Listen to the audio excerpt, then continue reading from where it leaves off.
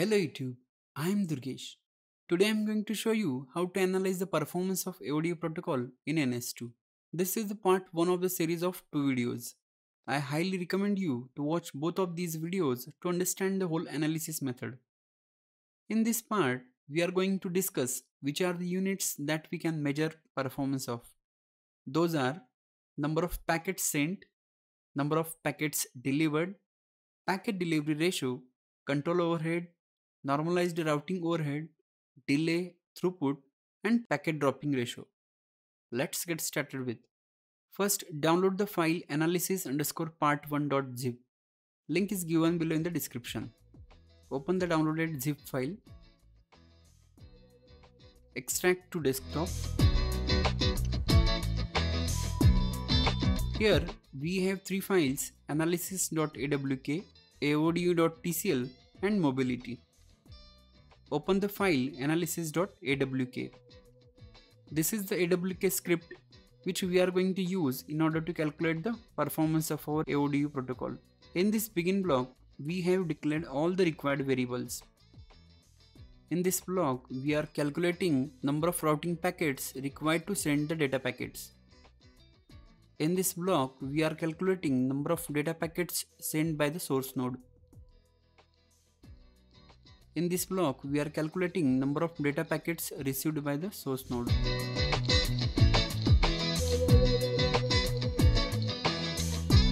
Finally, we are printing all the values. Let's see definitions of all these parameters. Number of packets sent means data packets sent by source node to destination. Number of packets received means data packets received by destination node. Packet delivery ratio is the ratio of total number of data packets received at destination to the total number of data packets sent from source node. Control overhead means the number of routing packets which are required in the network for data transmission. Normalized routing overhead is the ratio of number of routing packets to the total number of data packets received. Throughput means the average number of bits transmitted per unit time. Delay is the time taken by packet to reach destination from source node.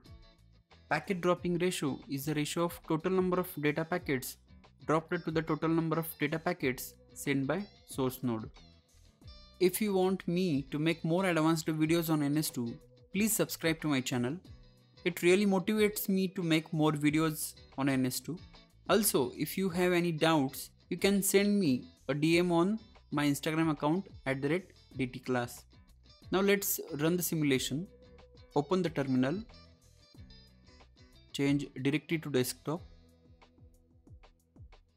Type in nsaodv.tcl.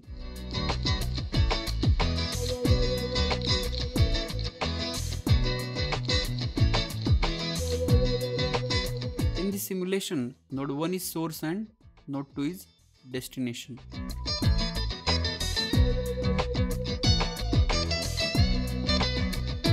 Now open the file aodv.tcl. I have set simulation time of 100 seconds, out of which actual transmission takes place for around 70 seconds. This is the period between start traffic and stop traffic. I refer it as transmission time. If you want to send suppose n number of packets, you can do so in two ways. First is to use a command traffic name set max packets 300 where at max 300 packets are intended to send. Second method takes help of transmission time and interval. I have used a second method in this simulation. Here interval is 0.2 means every 200 milliseconds there will be transmission of one packet which effectively means every 200 milliseconds there will be transmission of one packet which effectively sends 5 packets every second. Our transmission time is 70 seconds means there will be 350 packets sent in this whole session. Now open the file out.tr. The trace file has columns in tab separated format. In order to understand the code of AWK script, you must understand trace file format of NS2. This simulation has used a old version of the trace format. Now let's run the AWK script to calculate all the parameters. Open the terminal.